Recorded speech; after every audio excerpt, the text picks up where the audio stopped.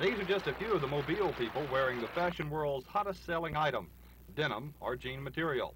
Although it's mostly the young in Mobile, the fabric is being bought and worn by all ages nationwide. Most stores in every shopping area sell denim in their clothing departments, but now there are many stores dealing exclusively in the former working man's attire. The price of denim is now 50% higher than it was a year ago simply due to demand. The seven textile mills in the U.S. producing authentic denim are working six day, 24 hour a day weeks to keep up with the sale of everything from jeans to business suits. People in the denim sales business say the denim sales phenomena is due to a need for more Americans of all lifestyles to get out from under the pressure of today's problems.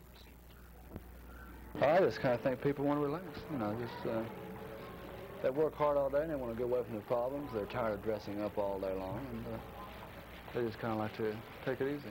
So it's a good business to get into right now, isn't it?